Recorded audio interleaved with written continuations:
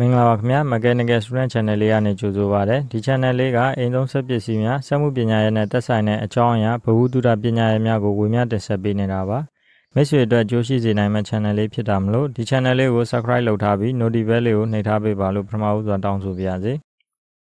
ခုဒီဗီဒီယိုလေးမှာပြောပြပေးဖို့ပြင်ဆင်ထားတဲ့အကြောင်းအရာလေးကတော့ engine တစ်လုံးကောင်းမွန်စွာလည်ပတ်နိုင်ဖို့ထောက်ပံ့ပေးထားတဲ့ system များအကြောင်းကိုပြောပြပေးသွားပါမယ်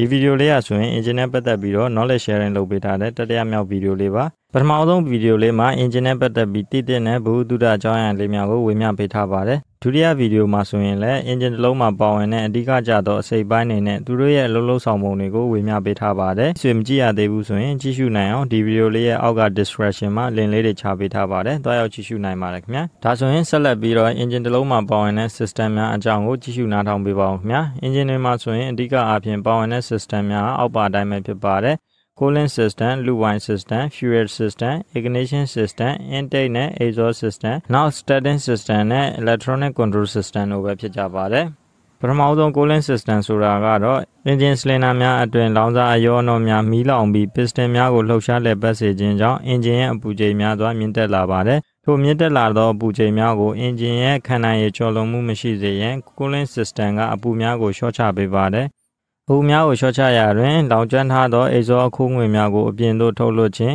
အင်ဂျင်ဝိုင်နှင့်လက်ပတ်ခြင်းကြောင့်အပူများကိုလျှော့ချနိုင်ခြင်းတန်ရှိအပူများကိုတော့အင်ဂျင်ရဲ့အဓိက cooling system ဖြစ်သော water cooling နည်းဖြင့်ဖယ်ထုတ်ပါတယ် water cooling system ဆိုပေမဲ့ရေတိတန့်ကြီးပဲမဟုတ်ပါဘူးရေနဲ့ chemical အရည်များပေါင်းထားတဲ့ coolant အရည်ပါ ရိုးရိုးတာမန်ရေထက်ရေစုမှတ်ပိုပြီးမြင့်ပါတယ်။ရေကြောင့်ဖြစ်တဲ့တန်ကြီးတက်ခြင်းစတာတွေကိုလည်းလျှော့ချပေးနိုင်ပါတယ်။ engine block နဲ့ engine head တွေစတင်ပြုလုပ်တဲ့ကအပူချိန်များကိုလျှော့ချရန်အတွက်ရေလိုင်းများကိုထည့်သွင်းပြီးတော့ပြုလုပ်ထားပါတယ်။ cooling water များလှုပ်ရှားလည်ပတ်ရန် engine အသေးတွေဥပမာကား engine တွေမှာဆိုရင် water pump ကို crankshaft ကနေပြီးတော့ပတ်ကြိုးဖြင့်ချိတ်ဆက်ပြီးတော့လည်ပတ်စေပါတယ်။ခုလို engine ကြီးတွေမှာဆိုရင်တော့ crankshaft က gear တွေနဲ့ water pump က gear အသေးတွေနဲ့ချိတ်ဆက်ပြီးတော့လည်ပတ်ပါတယ်။ engine ရဲ့အပူတွေလက်ခံယူထားတဲ့ cooling water တွေကို water pump ကမှတဆင့် radiator ကိုပို့ဆောင်ပေးပါတယ်။ radiator တဲကကူးလန့်များသည်ပြင်ပမှလေတွေကြောင့်အပူချိန်လျော့ကျစေပါတယ်။အပူချိန်လျော့ကျသွားသောရေတွေသည်တဖန်အင်ဂျင်ထဲကိုပြန်လည်ဝင်ရောက်လာပါတယ်။အင်ဂျင်ထဲကရေတွေကို water pump က radiator စီပြန်ပို့ဒီလိုနည်းနဲ့ထပ်တလဲလဲလည်ပတ်နေတာပဲဖြစ်ပါတယ်။ကားတွေမှာဆိုရင်မောင်းနှင်နေချိန်ဝင်လာသောလေများသည်အလိုလျောက် radiator ကိုဖြတ်ပြီးတော့ coolant water များကိုအပူလျှော့ချပေးပါတယ်။ခုလိုအထိုင်အင်ဂျင်ကြီးတွေမှာဆိုရင် radiator တွေကိုပန်ကတလက်ချိတ်ဆက်ထားသောမော်တာများဖြင့်အပူများကိုစုပ်ယူပြီးလေထဲကိုထုတ်လွှတ်ပါတယ်။ နောက်တစ်ခုကတော့ engine wine system တနည်းအားဖြင့် loop wine system အကြောင်းကိုကျွန်တော်ဆက်လက်ပြောပြပေးပါမယ်။ engine မှာဆိုရင်လှုပ်ရှားလက်ပတ်နေတဲ့တန်တက်တူအစိပ်ပိုင်းများစွာရှိပါတယ်။ထိုအစိပ်ပိုင်းများကတစ်ခုနဲ့တစ်ခုချိတ်ဆက်ပြီးလှုပ်ရှားလက်ပတ်ရသောကြောင့်ပွတ်တိုက်မှုတွေဖြစ်ပြီးပွန်းဆမှုများဖြစ်ပေါ်နိုင်ပါတယ်။ထို့သောဖြစ်တာနဲ့တပြိုင်နက် engine ကရပ်တန့်သွားပြီးသက်ဆိုင်ရာအစိပ်ပိုင်းတွေမှာပျက်စီးမှုများဖြစ်ပေါ်စေနိုင်ပါတယ်။ထိုပျက်စီးမှုပွန်းဆမှုများကိုကာကွယ်ရန်အတွက် engine wine system ချောစီစနစ်ကိုထားရှိတာပဲဖြစ်ပါတယ်။ engine wine များသည်လှုပ်ရှားလက်ပတ်နေသောအစိပ်ပိုင်းများကြားရောက်ရှိ၍ထိုအစိပ်ပိုင်းများနှင့်အတူတူလှုပ်ရှားလည်ပတ်ကြပါတယ်။အင်ဂျင်ဝိုင်များကတော့တန်တတုအစိပ်ပိုင်းများပုတ်တိုက်မှုကြောင့်ဖြစ်ပေါ်လာသောအပူများကိုလည်းလျှော့ချပေးပါတယ်။အင်ဂျင်အောက်ဆုံးပိုင်းမှာတော့အင်ဂျင်ဝိုင်တွေစုစည်းထားတဲ့အင်ဂျင်ဝိုင်ခွက်အင်ဂျင်ဝိုင်ပန်ရှိပါတယ်။အင်ဂျင်စတင်လည်ပတ်ပြီးမောင်းနှင်တာနဲ့တပြိုင်နက်အင်ဂျင် crankshaft နဲ့ချိတ်ဆက်ထားသောအင်ဂျင်ဝိုင်ပန်ကလည်းစတင်လည်ပတ်ပါတယ်။ အင်ဂျင်ဝိုင်ပတ်မှအင်ဂျင်ဝိုင်တွေကိုစုပ်ယူထားပြီးပထမဦးစွာအင်ဂျင်ဝိုင်ဖစ်တာကိုဖစ်တာဘူးကိုဖြတ်စေပါတယ်။အင်ဂျင်ဝိုင်ဖစ်တာဘူးသည်အင်ဂျင်ထဲကတန်တက်တုအစိပ်ပိုင်းနဲ့ပုတ်တက်မှုကြောင့်ထွက်လာတဲ့တန်မှုန်တန်စာများကိုစူးစီးပေးုံသာမှက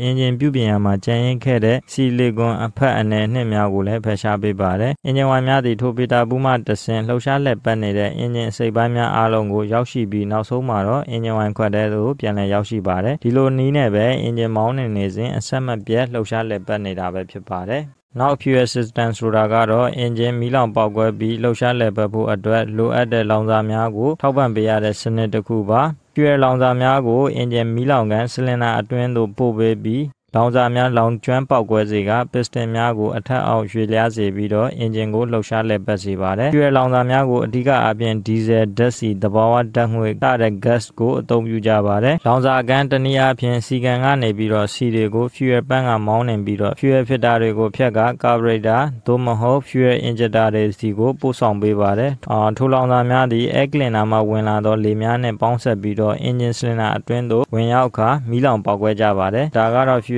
system အကြမ်းမြင့်မှာ ignition system ကတော့မီးလောင်ပေါက်ကွဲတဲ့စနစ်တစ်ခုပဲဖြစ်ပါတယ်။သူကတော့ gas နဲ့ dusty engine တွေမှာ spark plug ကတီလေအရောနှောတွေကို cylinder အတွင်းမီးပွင့်ထုတ်ပေးပြီးတော့မီးလောင်ပေါက်ကွဲမှုကိုဖြစ်ပေါ်စေပါတယ်။ဒီဇယ်အင်ဂျင်တွေမှာတော့ပိဋိတာပြီး pressure မြင့်မားသောလေတွေအပေါ်ကို nozzle injector များကဒီဇယ်အမှုန်မွားတွေကိုဖြန်းခြင်းအပြင်ပေါက်ကွဲမှုဖြစ်စေက piston များကိုအထက်အောက်ရွှေ့လျားစေပြီးတော့အင်ဂျင်ကိုလှုပ်ရှားလည်ပတ်စေပါတယ် ဒါကတော့ ignition system အချင်းချုပ်ပါနောက် intake နဲ့ exhaust system ဆိုတာကတော့ engine လောင်ကျွမ်းပေါက်ကွဲစေဖို့လိုအပ်တဲ့လေတွေကိုစုပ်ယူခြင်းနဲ့လောင်ကျွမ်းပြီးသားအခိုးငွေ exhaust တန်းငွေများကိုအပြင်ဘက်သို့ထုတ်လွှတ်ခြင်းပဲဖြစ်ပါတယ် Starting system ဆိုတာကတော့ engine တစ်လုံးစတင်လည်ပတ်ဖို့လှုပ်ဆောင်ပေးတဲ့စနစ်တစ်ခုပါ။ engine များကိုခေါင်းနဲ့လှည့်ပြီးတော့နှိုးကြသလို starter motor ကို flywheel နဲ့ချိတ်ဆက်ကလည်းနှိုးကြပါတယ်။ engine အကြီးတွေမှာဆိုရင်တော့လေဖိအားကိုအသုံးပြုပြီးနှိုးကြပါတယ်။နောက်ဆုံးပြောချင်တာက electronic control system ပဲဖြစ်ပါတယ်။ဒါကတော့ engine ရဲ့လှုပ်ဆောင်မှုတွေစွမ်းဆောင်ရည်တွေကိုပုံမှုတိုးတက်လာဖို့မဖြစ်မနေအသုံးပြုလာတဲ့စနစ်တစ်ခုပဲဖြစ်ပါတယ်။ electronic control system ကနေပြီးတော့ရှေ့မှာပြောပြခဲ့တဲ့ system အကုန်လုံးကိုလိုအပ်တဲ့ sensor တွေကိုတက်ထားပြီး engine တစ်ခုလုံးကိုလိုအပ်သလိုထိန်းချုပ်မောင်းနှင်ပေးပါတယ်။ဥပမာအားဖြင့် cooling system မှာဆို engine coolant temperature sensor တွေကိုတက်ထားပြီးတော့ engine အပူချိန်ကိုစမ်းစင်းလုပ်ပါတယ်။ engine ကအပူရမ်းများနေရင် radiator ဘက်ကိုရေများများလွှတ်ပေးပြီးတော့ engine အပူကိုကျစေပါတယ်။ပုံမှန်အပူချိန်ဆိုရင်တော့ bypass line နဲ့ engine အပူချိန်ကိုထိန်းထားပါတယ်။ ထိုနည်း၎င်းအတိုင်းပဲတခြား system တွေမှာလည်းစင်ဆာများကိုတထားပြီး engine ကိုဆွမ်းဆောင်ရည်ကောင်းအောင်ပျက်စီးဆုံးရှုံးမှုနဲ့အောင်ထိန်းချုပ်မောင်းနှင်ပေးပါတယ်။ခုဒီဗီဒီယိုလေးက engine တစ်လုံးမှာပါဝင်တဲ့ system များအကြောင်းကိုအခြေခံဘူးတုဒရရစီရင်ဝေမျှပေးတာမလို့ဒီလောက်နဲ့ပဲရက်တန်ပြရစီ။ engine နဲ့ပတ်သက်ပြီးဘူးတုဒရရစီရင်ဝေမျှပေးရမှာဒီဗီဒီယိုလေးကတော့နောက်ဆုံးပဲဖြစ်ပါတယ်။